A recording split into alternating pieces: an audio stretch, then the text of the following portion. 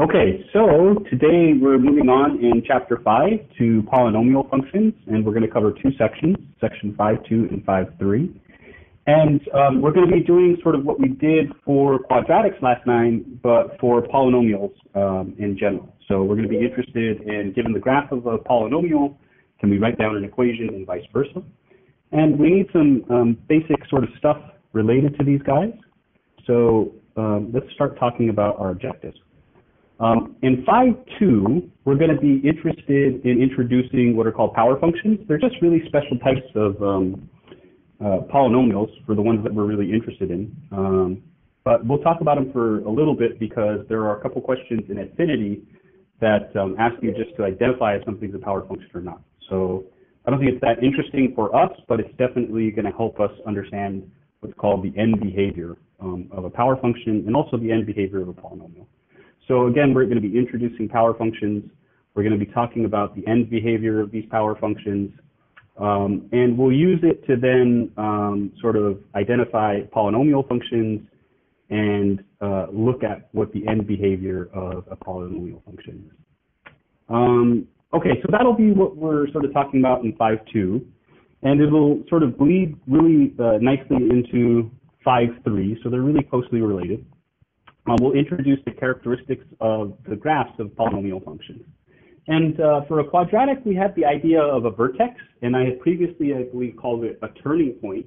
So we'll solidify that a bit more. Uh, the corresponding idea for a general polynomial is the idea of a turning point. So we'll um, sort of give some terminology to that. And we'll talk about um, the idea that factoring is the method for finding the zeros of a polynomial. So I'll give you a quick example of that um, here in a moment. Sorry, let me mute this uh, mic. Thanks. Okay, so coming back. Um, we're going to talk about uh, factoring and how it leads into the notion of a multiplicity. Um, and we'll see that multiplicities sort of express themselves both in the equation itself in terms of the degree, but also in terms of the graph. So you can read off the multiplicity of a zero just from the graph itself. And uh, like I said, we'll be talking about the relationship to power functions in the end behavior, and then this idea about uh, the relationship between the degree of a polynomial and the number of turning points. Okay, so um, let's get started. And the first thing that I want to do is just a quick example before I do um, anything to remind you of a couple things. And then also just to introduce you to how you'll um, find the end behavior, and then we'll just sort of spell out everything um, in more detail with the slides. So the example we're going to look at is the following. Let's find the x-intercepts, the y-intercept, and what we're going to call the end behavior. And I'll explain what the end behavior is uh, here in a moment the end behavior of the following function. It's a polynomial, and um, it's going to be given in a factored form. So this polynomial has been sort of factored into a bunch of factors, and it looks like this. 2 times x minus 2 times x plus 5 times x minus 5. And it's really nice that it's been factored, because when it is factored, um, finding the x-intercepts and the zeros is really easy. Okay? And I think I see that um, there's a couple questions slowly cutting out for you. Um, is everybody else good? Am I, is the video here choppy for you guys? We need to reset this? Angelique says, looks good. Okay, I'm just going to keep going. And again, if um, a lot of you are, are running out of it, then we may try and reset some stuff. Otherwise, um, I'll just ask you to maybe check out the recording for parts that you might have missed. But anyway, what I was saying here is that we're given a polynomial and it's been factored for us. Um, Edfinity is going to test your factoring with this uh, homework assignment, right? And you may have to go back to chapter one and review some of the techniques there for um, factoring because they may not give it to you in this factored form, meaning you'll have to actually factor it, right? So you come on Monday with some of those questions or read through chapter one and remind yourself of some of those techniques. Um, but when it is factored, it's really easy to find the x-intercepts, right? Because remember, for any graph, the x-intercepts are just the places where y is equal to 0, right? And the y-intercepts are simply the places where x is equal to 0. And because it's a function, when x is equal to 0, there's only one possible output for y. It satisfies the vertical line test. So um, let's go ahead and find the y-intercept first. That's just going to be f of 0. And here you'll get 2 times 0 minus 2 times 0 plus 5 times 0 minus 5.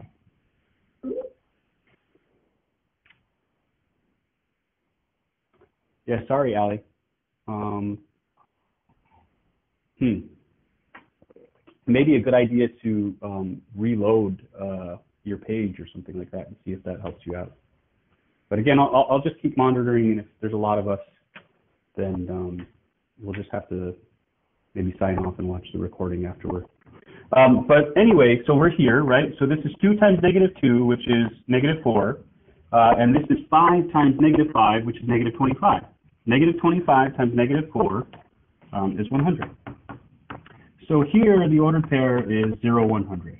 Right? That's where this graph, this polynomial, passes through um, the y-axis. Okay, but the x-axis, there's going to be quite a bit more, right? In this case over here, we're going to uh, let y be equal to 0. But remember, the f of x is the y. The output is the y. So this is 0 is equal to 2 times x minus 2 times x plus 5 times x minus 5.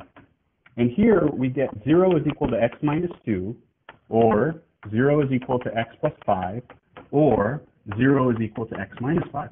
Because if any one of these three factors were equal to 0, well, then when I multiplied them all together, I would be equal to 0. Okay? And it's tempting, um, like on an exam, to just jump right down to the next step. So here we're going to get x is equal to 2, x is equal to negative 5 for this one, and then uh, x is equal to 5 for that one. But um, remember to show your supporting work, right? So you need to include the equation, and you need to show the step where you sort of separated them into um, different pieces. Okay, now be careful. Here they're asking us for the x-intercepts. These would be the zeros, right? When they ask you what are the zeros of the function, these are the zeros, right? At 2, at negative 5, and 5, if I plug those in, the output is 0. Um, but the uh, intercept, on the other hand, is going to be 2, 0, negative 5, 0, and um, 5, 0, right? These are the x-intercepts. And um, what it means is it just passes through the x-axis at 2, at negative 5, and at 5. And um, so that's telling you where the x-intercepts and the y-intercepts are. We now want to talk a little bit about what's called the end behavior. Okay? Um, the end behavior is uh, what happens when x gets really, really big. Okay? So we refer to this as the end behavior, and it's just asking the question, what happens when x gets big? So let's think about end behavior. So what happens when x is large? Okay? And um, so that's what happens. Uh, and the question here is basically just saying, you know, in general, um, what's going on. So let's try to understand what would happen if I were to plug in a really big value um, of x, okay? So if I were to plug in a really, really big value of x, like a billion, um, then a billion and a billion minus 2 are roughly the same. So when x is large, so as you write it like this, so x goes to infinity. So when x is really large, um, this f of x here is roughly equal to 2. Um, this is like a billion minus 2, so that might as well be x. This is a billion plus 5, so that might as well be x as well. And this is a billion minus 5, so this might as well be x as well, right? So in other words, you get um, that it looks essentially like 2x cubed when x is really, really big, okay?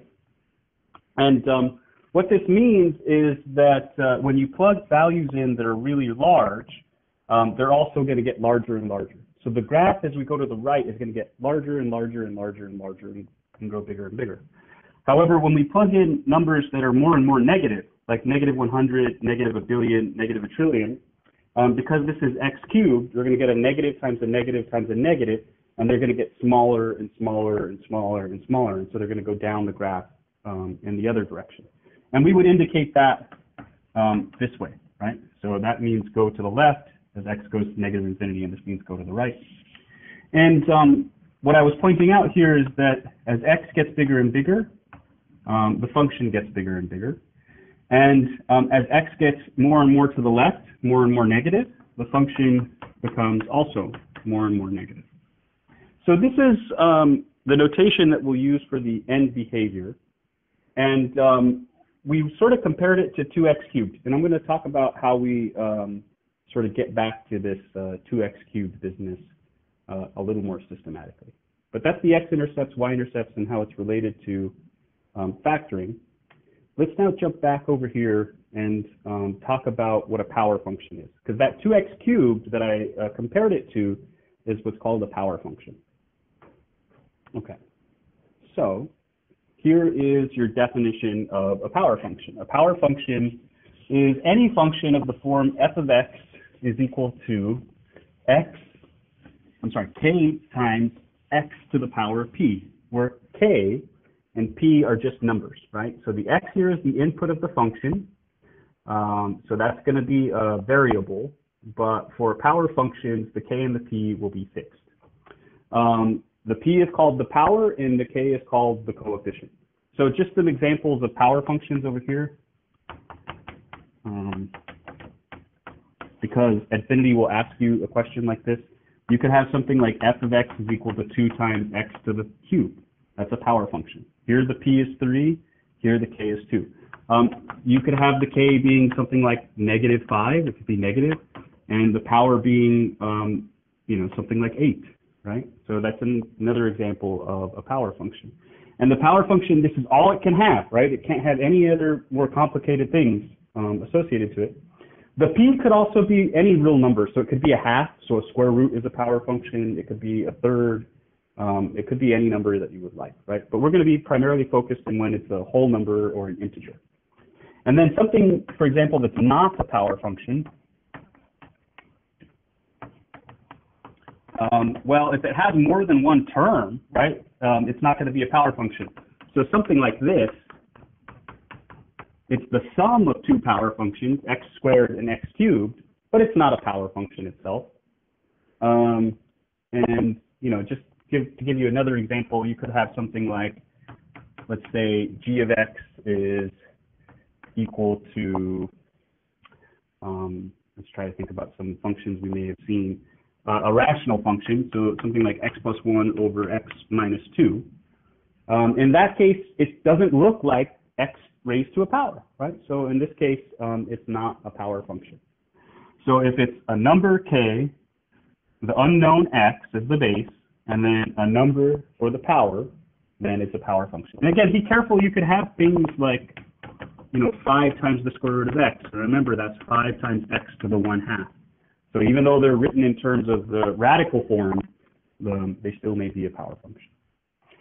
Okay, and why am I telling you about power functions? Well, it turns out that power functions tell you everything you need to know about the end behavior of a polynomial. So let's talk about the end behavior of these power functions. Um, there are four types of power functions that um, you'll need to be familiar with. And um, the first thing that we'll look at is what happens when that coefficient is positive. Okay, so when the coefficient is positive and the power p is even, then you look just like a polynomial, um, I'm sorry, you look just like a parabola, right? So these are like the quadratics we had. Um, and when the power is odd, then you look like an x cubed function.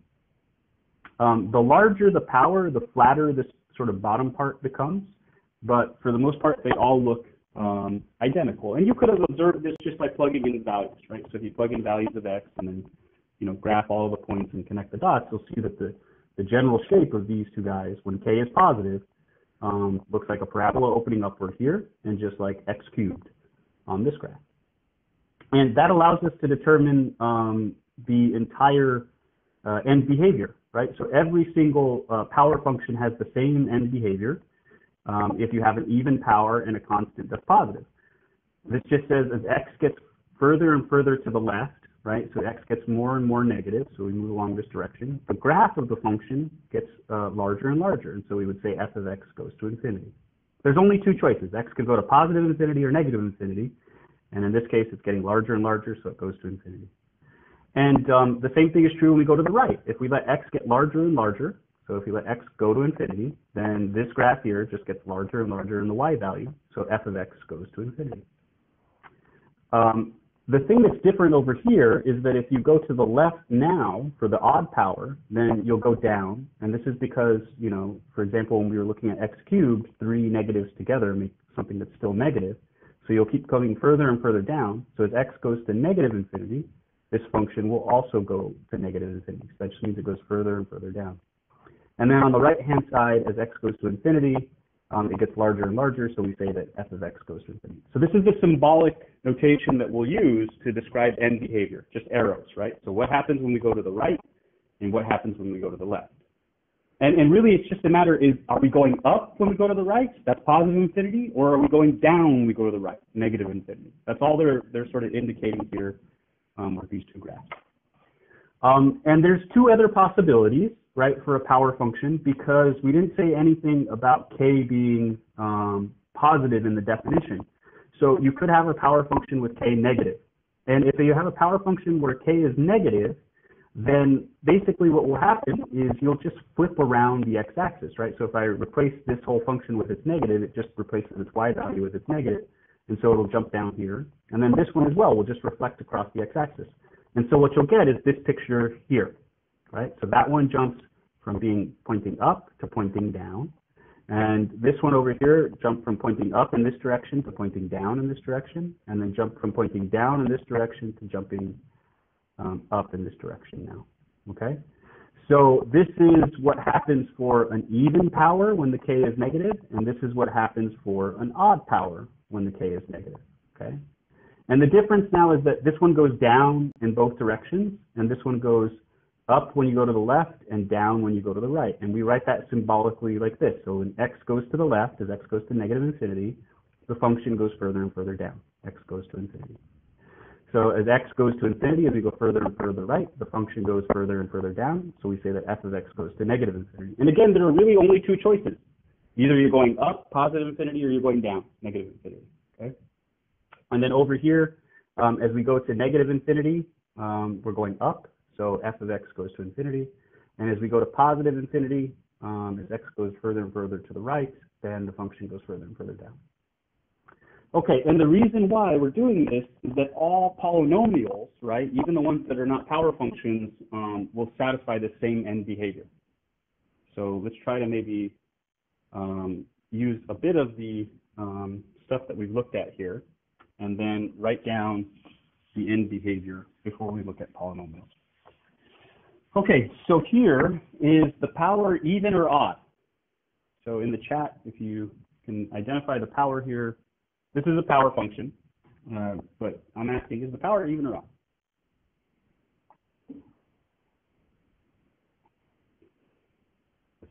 Well, what is the power in this case? So some people are saying odd. I see somebody saying even. What's the actual power?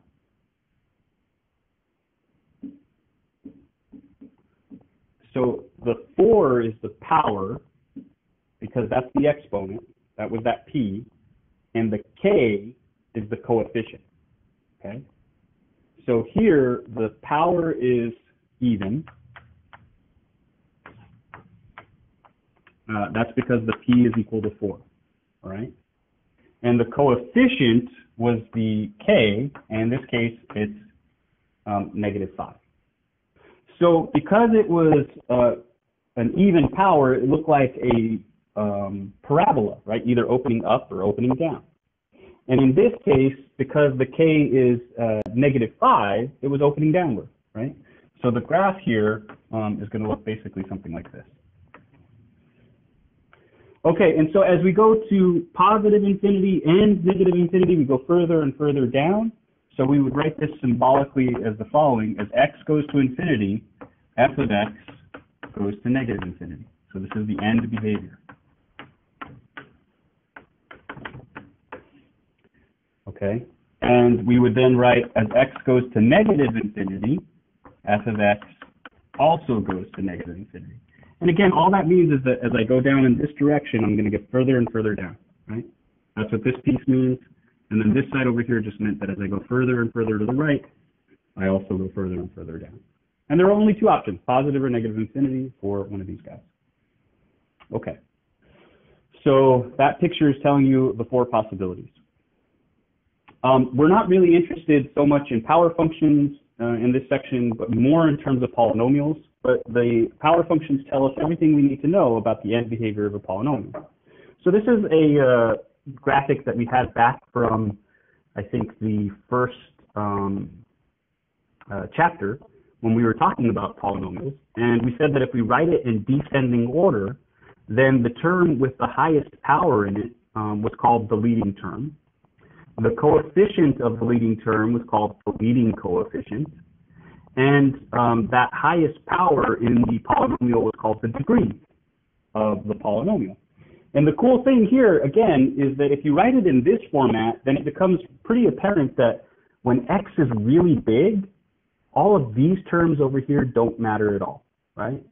So for example, when x is a trillion, a trillion raised to the power of n, when n is something like 3 or even 4, is so much bigger than x squared that the x squared doesn't matter at all. And so when you're looking at end behavior of a polynomial, all you have to do is identify the leading term, okay? And once you have that leading term, you can go down to this box that's down here um, sort of on the bottom, and you can see that for any polynomial, the end behavior of the polynomial will match the end behavior of the power function, which just consists only of the leading term. Because when x is really big, that's the only thing that matters, right? That's the term that takes over. And so when we were looking at that graph before, when we um, looked at that 2x cubed function and identified that end behavior at the beginning, we were really just identifying whatever the leading term was, right? And that leading term was a 2x cubed. Okay, so when you want to find the end behavior of a polynomial, you look to its leading term, and then um, that'll tell you if you're going to positive or negative infinity.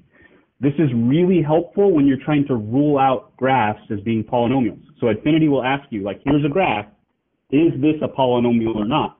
And um, if it doesn't match the end behavior, one of these four possible cases, then you know it's certainly not a, um, a polynomial. So that's a good way to answer some of those questions in Edfinity.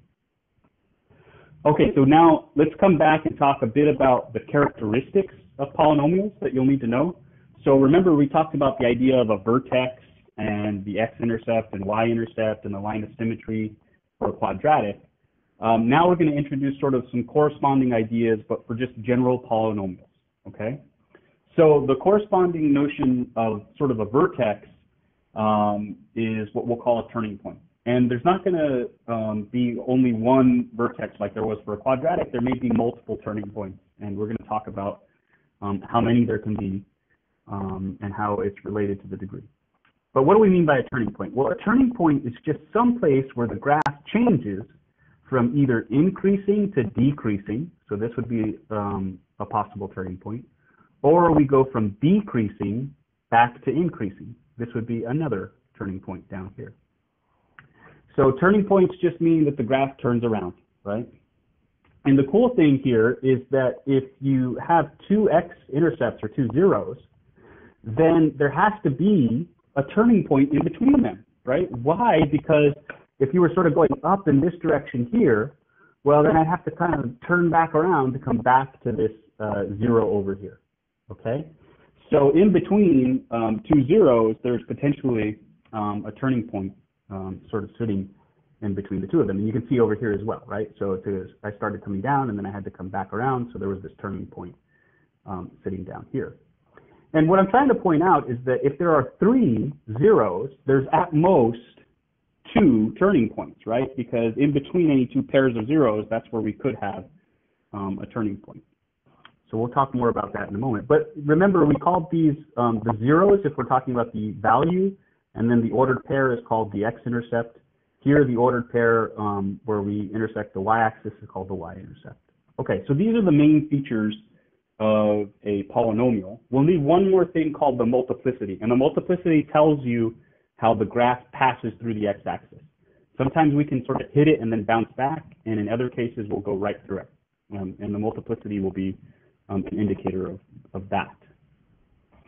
Okay, so um, let's talk about how multiplicity is related to um, degree. I'm sorry, not multiplicity. Uh, turning points are related to degree. So um, you give me a polynomial of degree n. So let's just fix an example first and think about a polynomial of degree 2. That's a quadratic, okay? Um, a quadratic uh, is a parabola, and if it's opening upward, it looks something like this. In that case, the degree is 2, and the number of turning points is 1, right? The vertex will always be a turning point. And so what we have in that case is possibly n x-intercepts and n minus 1 turning points, right? Notice here, there are no x-intercepts at all because it doesn't hit the x-axis at all. And so in this statement, um, they're using the term at most, right, at most. But we could have also drawn um, an example of a parabola that had two x-intercepts, um, like this, right? So here we would have two x-intercepts and one um, turning point on the bottom. And so uh, the same story is going to be true for all polynomials of degree n. Um, if you start with a polynomial of degree n, there can be at most n x-intercepts and at most n minus 1 turning points. And don't don't confuse what I'm saying here. I'm not saying that there will be n x-intercepts. There could be less. I'm saying there's at most n uh, x-intercepts, and there's at most n minus 1 turning points. Again, it doesn't mean that there is n minus 1 turning points. It's just at most there's n minus 1 turning points. And when the n is equal to 2, we have a parabola, and again, we have at most two x-intercepts and one turning point. And in that case, there will always be one turning point, um, and the number of x-intercepts, like we said previously, could be none, um, two, or just one, okay? So why is that the case? Well, if you're dealing with an arbitrary polynomial, right? So if you have a polynomial that looks like f of x is equal to ax to the n, and then a bunch of other stuff like x squared plus x plus 7, um, and this is the leading coefficient, then when you try to factor this um, into a bunch of pieces, the number of factors that you can have is at most n factors. And the reason why is that there'll be an x here, an x here, an x here, and an x here. And if you have more than n factors, when you multiply them out, you get something bigger than x to the n. So when you're trying to find those x-intercepts, the degree is sort of blocking the number of intercepts you could possibly obtain because of the way that factoring is working. Okay? So that's where this comes from. And it's useful for answering some questions um, in Edfinity. So let's see some examples of the type of thing you might see in Edfinity. So here's a question that can look sort of overwhelming um, at first glance, but it's actually pretty simple, okay? So here they're asking you, without graphing it, determine the maximum number of x-intercepts. Now, they're not asking you to determine the number of x-intercepts, just the maximum number of x-intercepts. And they also want you to determine the max number of turning points. And it's pretty easy. All you have to do is determine what the degree is. Okay? If you know what the degree is, you're going to know the answer to both of these questions. So look at that guy. Remember, it's not in general form. And in the chat, just respond with um, what the degree is. So what is the degree of this polynomial? Okay, so, so most of you are recognizing that even though it's not written with the highest power coming first, the highest power there is that 14 times x to the power of 12, okay? So that term, that 14 times x to the power of 12, is telling you that the degree of this polynomial is 12. So the number, the maximum number of x-intercepts, if we tried to factor this thing, there could be at most 12 factors. Um, it's 12, okay? How many uh, possible turning points could we have? What's the most number of turning points that this graph could have?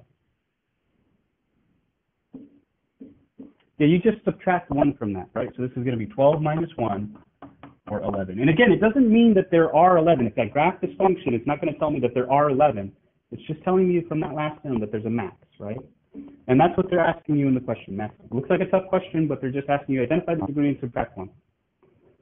Okay, so we should also be able to identify the end behavior of this guy. So notice I, have identified that leading coefficient. This is like a separate question. Um, I identified that leading coefficient. So when x is really big, this is all that really matters. It's an even power and the k is positive. So it looks something like this when we zoom out. And so it'll go to positive infinity as x goes to infinity and positive infinity as x goes to negative infinity. And so we know the end behavior just directly from that leading coefficient as well. So the leading coefficient is telling us a lot of information about the graph, right? telling us um, how many possible turning points, how many x-intercepts, and also the end behavior um, of what the uh, graph will look like. Okay, so let's now um, answer a question. And I took this one directly off Edfinity. That's why the graph here looks a little bit funky, just so you can see that it's um, an actual example from Edfinity. Here, they're saying, okay, determine the least possible degree of a polynomial function shown. Okay? And I'll just say, for example, it can't be a degree one polynomial. A degree one polynomial is just a line, and it's clearly not a line. But the theorem that we just had before would tell us that there's no turning points in a line, right? And this thing definitely has um, more than one turning point. So if we only have one turning point, I'm sorry, no turning points, um, then we're a line, right? But in this case, we do. So it, it has to be bigger than degree one. Um, it also can't be degree two, right? Because the, the statement tells us that a degree two polynomial can have at most one turning point at the vertex, right? That's the only one. There's only one turning point. Um, how many turning points does this graph have? So yeah, so the, the turning points are two, there's one coming up and then coming back down and then down and back up. So there's two turning points. And so that means that key degree one, it can't be degree two. Um, it could possibly be degree three, right? Because a degree three could have two turning points. And we can also look at the intercepts, right? So the intercepts, there's three intercepts here as well, um, x-intercepts. But be careful, you can't solve this question with just x-intercepts because I could have moved the whole graph up and it wouldn't have any x-intercepts at all. So we really have to be thinking about turning points here. And because there's two turning points, um, the least degree is 3. And that's, again, because there are two turning points. So for these questions, just count the number of turning points and add 1. And there you go. You can answer all the questions in Edfinity about the least possible degree of a given graph.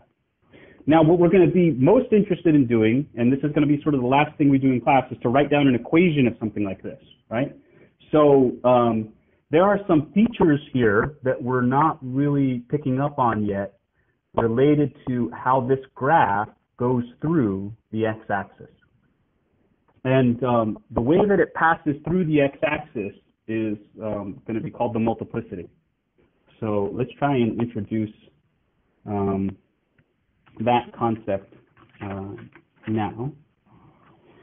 And um, I think I did this example already, so let's go to this multiplicity thing Okay, so somebody gives you that polynomial of degree n, so its leading coefficient has an x to the n in it, and then um, you factor it into a bunch of pieces, right? So you factor it, and you might get something like we had before, like you know x minus 2 times x plus 5 times x minus 5, and then I think we had a 2 out in the front, right? So you factored this whole thing, and you um, figured out each one of these factors, and each of the factors has degree one, okay? So the first thing that you should know is that for each one of those factors, you're going to get a zero, right? So for example, if you have an x minus h factor somewhere, then x equals h will be a zero, right? So here there was a zero at 2, there was a zero at negative 5, and there was a zero at 5. Um, but it turns out that um, when you factor a polynomial, it could be the case that you might have a different power up here, like maybe a 2 here and a 3 there. I'm just making that up in this case. This is not um, part of that previous example. But um, when you factor it like this, then uh, you get a power up here. And this power p is called the multiplicity of p. Okay? So um, here we would have a 0 at 2. And the multiplicity is um, 2, right? Because that's the power. Here, this one we have a 0 at x equals negative 5, right? So if I set that equal to 0 and solve for it, I get x equals negative 5. And here the multiplicity is that power, so the multiplicity would be 3. Okay? This one over here has a 0, or this factor gives us a 0 at x equals 5, but what's the multiplicity? What do we get for a multiplicity on that one? Okay, so if you don't see a power, that's exactly right. So this is multiplicity 1. Okay? Um, and so that example where I just had, you know, no powers up here at all, they all had multiplicity 1. We looked at them. Okay? And it turns out that the multiplicity um, determines how the graph passes through the x-axis. If the multiplicity is even or odd, it's going to change the behavior. Okay? So let's see the, the sort of the, the way to determine this somebody gives you the graph of an nth degree polynomial, and you identify the zeros, right? So like, let me just, somebody just says, okay, here's a graph of a polynomial. Just gonna make one up here. They give you something like this. Here's the graph of a polynomial. And um, they ask you to identify the zeros and identify the multiplicity of those zeros. Okay, so here's a zero, here's a zero, here's a zero, and here's a zero. And um, if the graph was labeled, you would just write down whatever the x values are, right?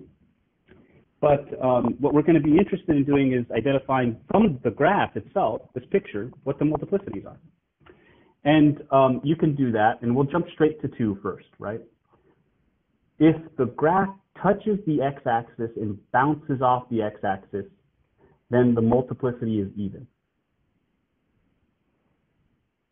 If um, instead, it crosses through the x-axis at that zero. The multiplicity is odd. Okay, so let's look at this picture here. This passes through, so this multiplicity, whatever it is, is odd. Now, we don't know if it's 3 or 5 or 7, but we do know it's odd. Okay? This multiplicity, is it even or odd? What about this one?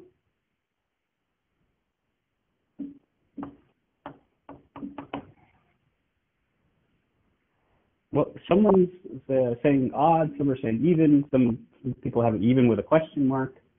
You'll notice this one goes down and through, and this one comes up and through. And because it goes through the graph, it's still odd. Right? So the multiplicity is telling you whether or not you go through the graph at the zero or not. So here, this one does not, right? See, it hits the graph, and then it bounces off the graph. And you could do that also from below, right? You could have done that from below. So this would have a multiplicity um, that is even. And what about this last one? Is this an even or an odd multiplicity?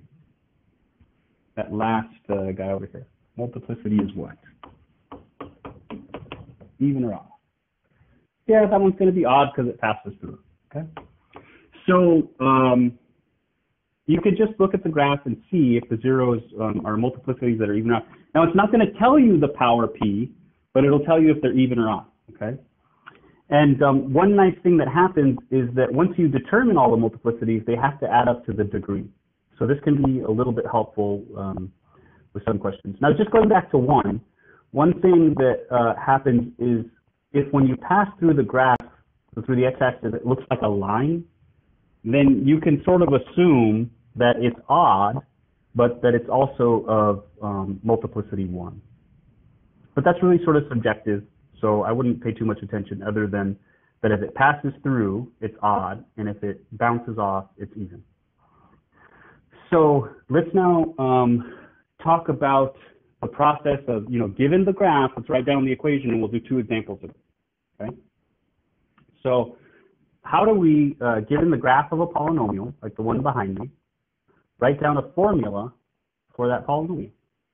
Okay. um, the first thing that you'll do is identify the zeros, the x-intercepts. So just like we've done in this picture, here's a zero, here's a zero, here's a zero, here's a zero. And, and the graph will have to be, you know, have enough information so that you can actually identify it. I haven't written down the numbers here. Um, but you have to be able to identify what those numbers are, right? Okay. And then the next thing that you want to do is examine the behavior of the graph at those intercepts and determine the multiplicity of each factor. So here we would say, okay, does it pass through the graph and determine is it even or is it odd? In this case it was odd, in this case it was odd, it was even, and then it was odd, okay?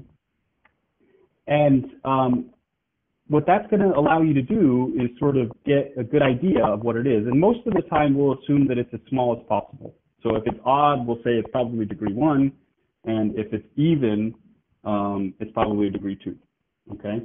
But there are some instances when that won't work out for us. But I think for most of the homework problems, you can do that. Um, and then what we'll do is we'll find a polynomial of least degree containing all of the factors found in the previous step. And this is the key issue here. If we're looking for the one with least degree, then it is unique, right? Then we can actually assume if it's odd, it's one, and if it's even, it's two.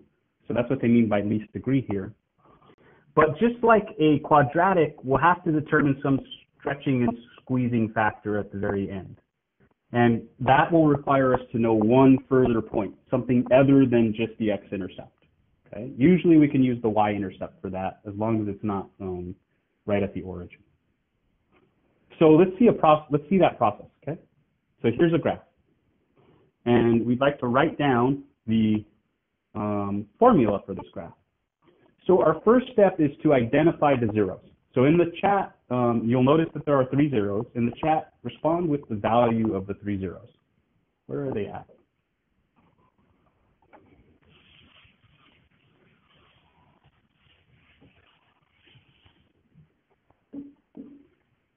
Okay, so we've got one at negative three, boom, here. We've got one at two here, and we've got uh, another one here at five. So everybody has three, two, um, and five. Okay, so now the next step is to identify the potential multiplicities, right? So now in the same order, let's go negative three, two, five. Tell me if the multiplicity is even or odd, right? So you might have like a string of three even or odds. What do you get here?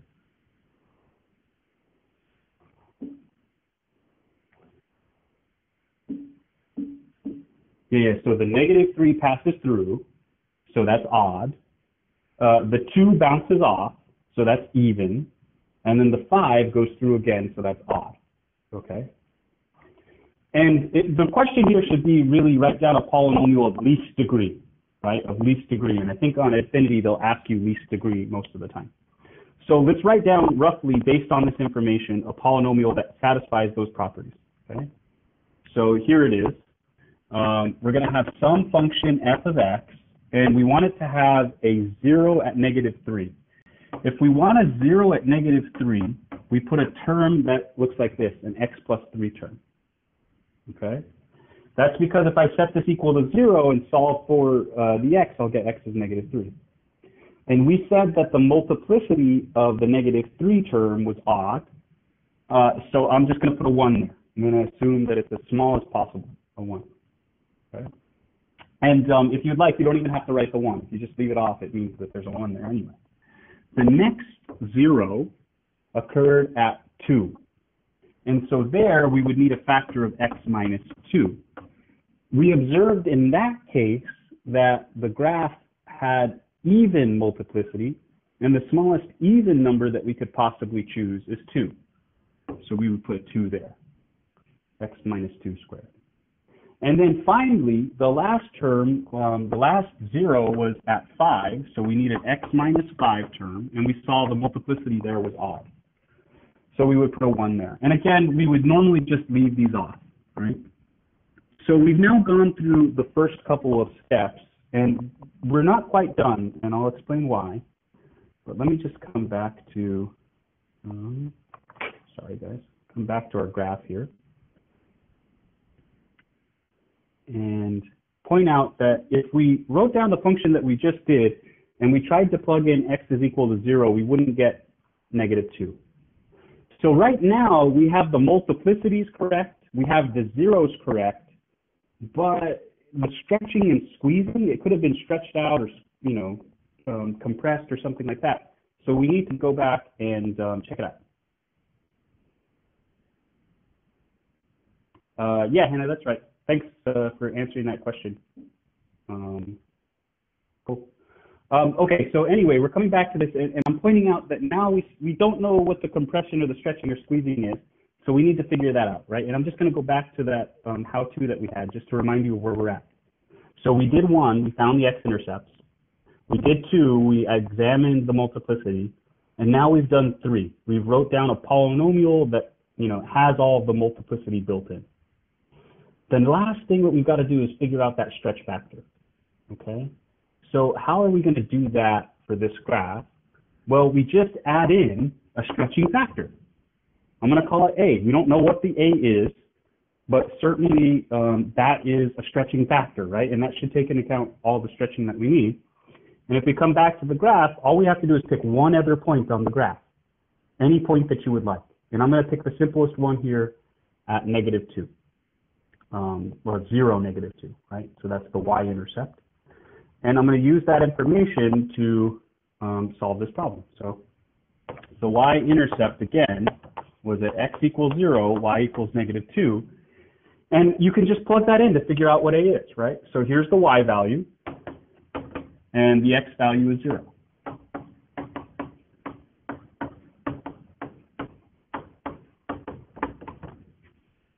Okay, so everywhere there's an X, I plug in zero. Everywhere there's an S of X, I plug in the Y value, which is negative two. Um, in this case, if you multiply all of that out on this end, you get negative 2 is equal to 60 times A.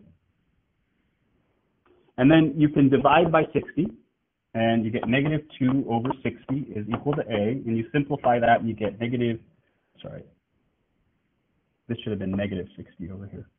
Yeah, yeah, that's a negative number. That's a positive number, positive. This should have been negative 60. Um, and then you divide by um, negative 60, and you simplify this, and you get 1 30th. So the stretching factor here is 1 30th. Okay?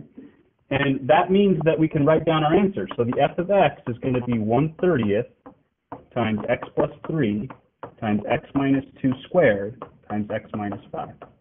And this is a polynomial that satisfies all the properties. Um, I just multiplied all of these out, right? So this is 3 um, times negative 2 squared. So negative 2 squared, uh, that's 4. 3 times 4 uh, is 12. 12 times 5 is 60. Um, and that's a negative 5, so it should be negative 60. Just multiplying all these numbers out over here. Okay. And there we have it, right? So that's how you'll go from the graph back to the equation.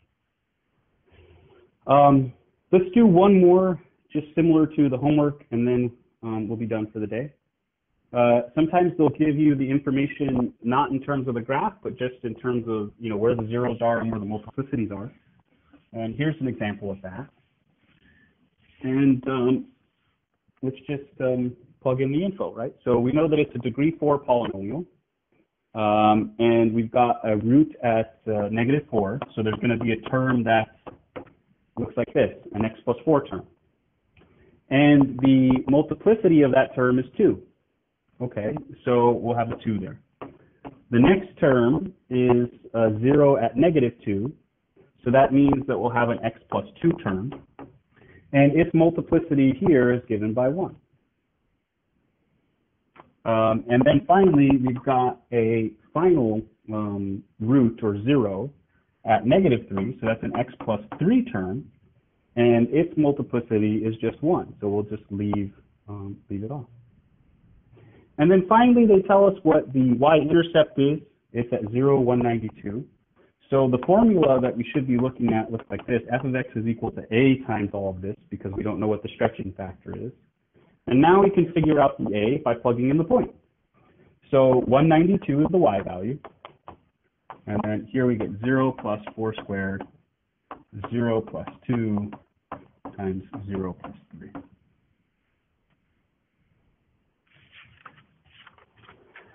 Okay, and um, in this side we get 192.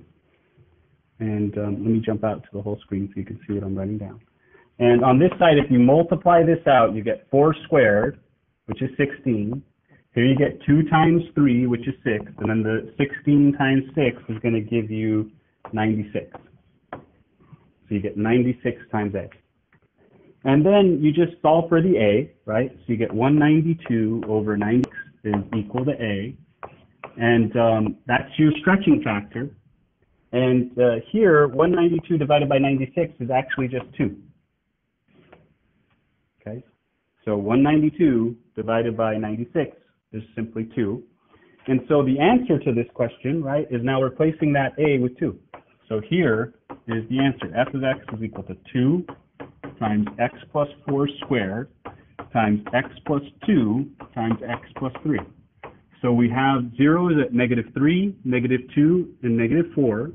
This one has multiplicity 2, the other have multiplicity 1, and we've got the stretching factor of 2 that guarantees we're at the point 0, 92.